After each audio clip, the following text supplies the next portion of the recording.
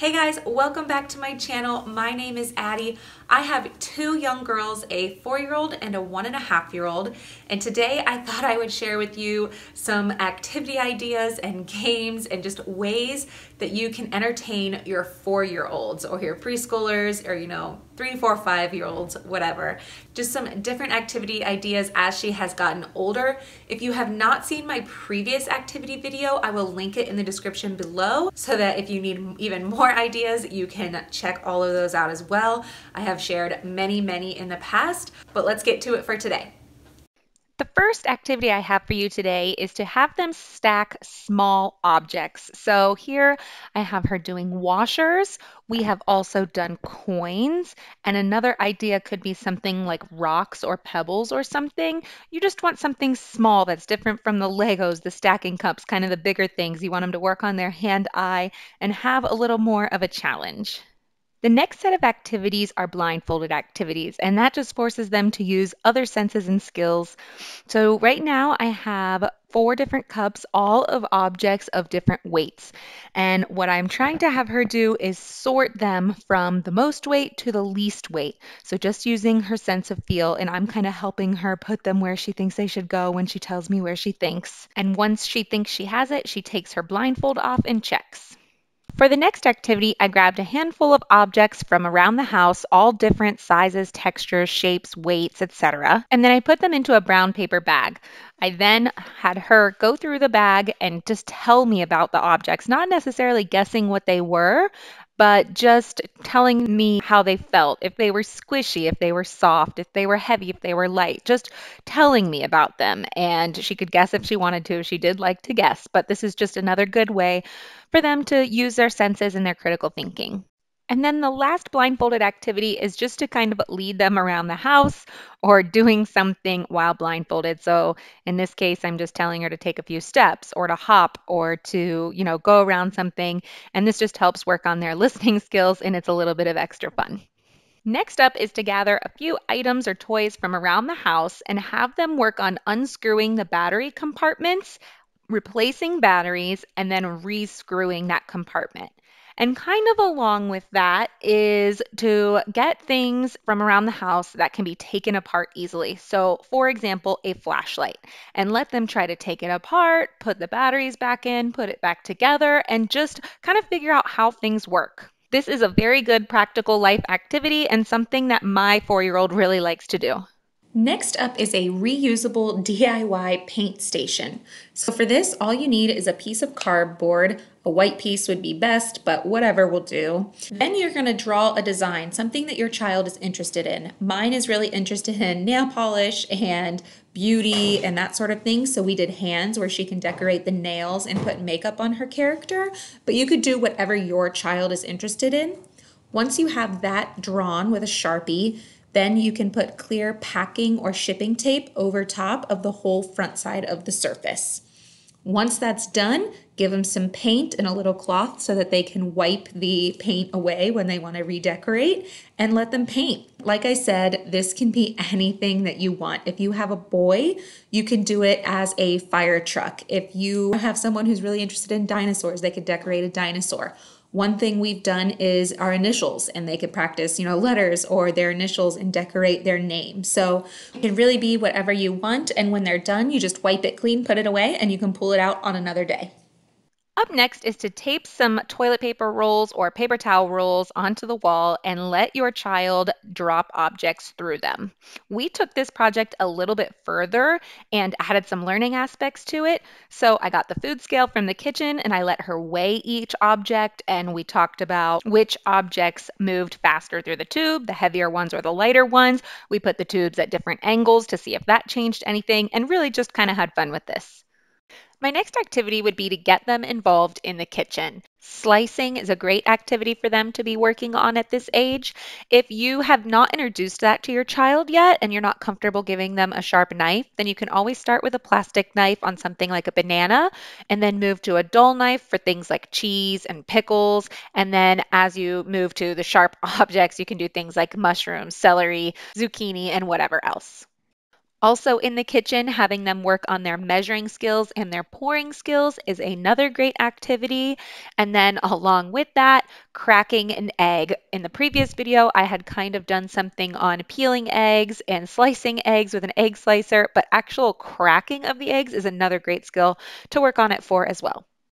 Up next is weaving, and we kind of have a loom kit, but I kind of simplified it and just had her weave some paper through some of the bands. But you could also do this totally DIY at home and just get like a tray and tape on some string and then have them weave paper through. The next activity is a threading activity. I have gone through and put on a tray a bunch of different beads in a certain order. I then put all the same beads in a little bowl and she then had to make my exact pattern on her string of thread.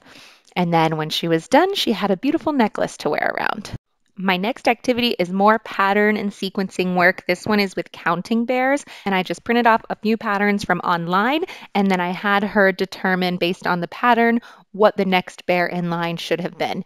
And these are kind of AABB patterns, but you can also move to harder patterns like ABC ABC patterns as well as their skill and level needs to increase.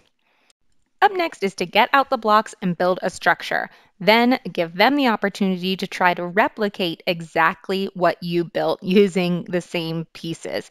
You can also do this with Legos or Magna-Tiles or Duplos or, you know, whatever kind of building structure you want. But this is just really good for direction following and problem solving and so many other things. The next activity is to use scissors and practice cutting. If you're not ready for them to have real scissors, you can start with the training scissors and cut things like Play-Doh. And once they've got that down, you can move to paper with real scissors and let them just cut in any way that they want.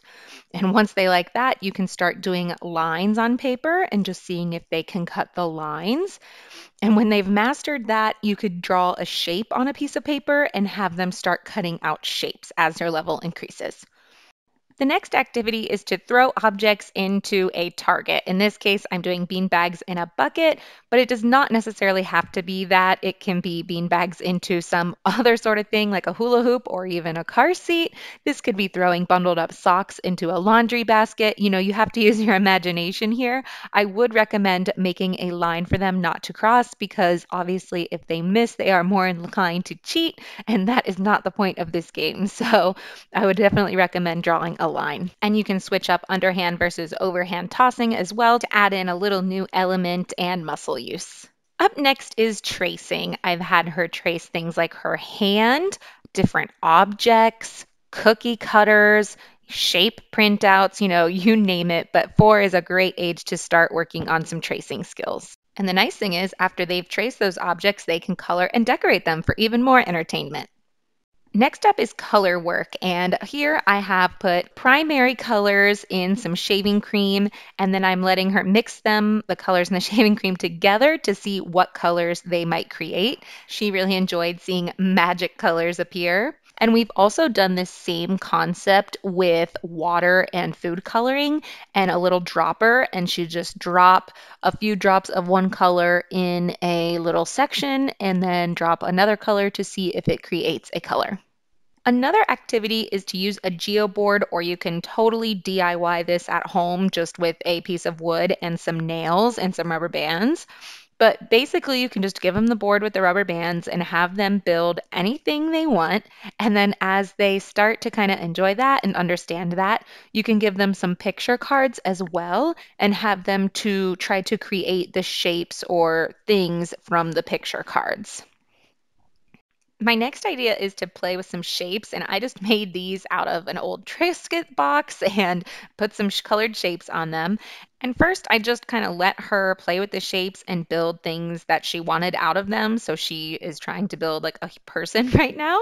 And then another way to use them is just to put the shapes together to see what kind of other shapes you can make out of them. So in this example, triangles, making a diamond or a square or a hexagon or a circle or, you know, whatever it is that you want to make out of the shapes that you're using. My next activity is a baby washing station. And this activity is one that she really loves because she is obsessed with babies right now. But it does not necessarily have to be a baby. If your child is not into baby dolls, it could be a dinosaur. It could be, you know, a PJ mask thing. It could be a Clifford the Big Red Dog, you know, whatever it might be, a washing station and bath station for that item.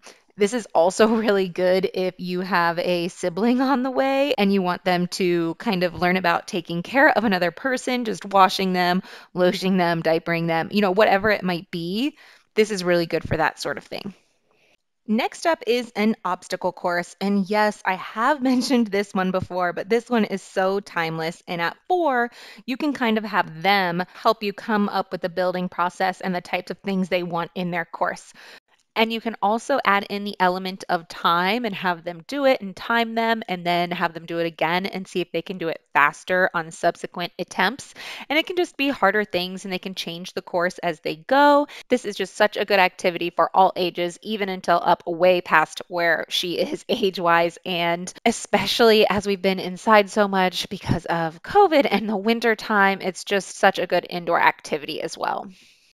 And another good gross motor activity I'll just add in here, something they probably already do, is just jumping on the bed. And this is all ages really, but she really does enjoy this, especially since we do have a trampoline, but in the middle of winter with snow, she's not really using it much. And I let her jump off objects too. She really seems to like doing that. And we just have a little mat down for her. If you have a couch, which um, you could put the cushions on the floor, that would be another idea. Just using those big muscles and those gross motor skills is so so good for a four-year-old. All right, those are the activities for my four-year-old. I hope you enjoyed this. I hope it gives you some idea and you found some things that your four-year-old would enjoy as well. I'll see you guys in the next video. Bye.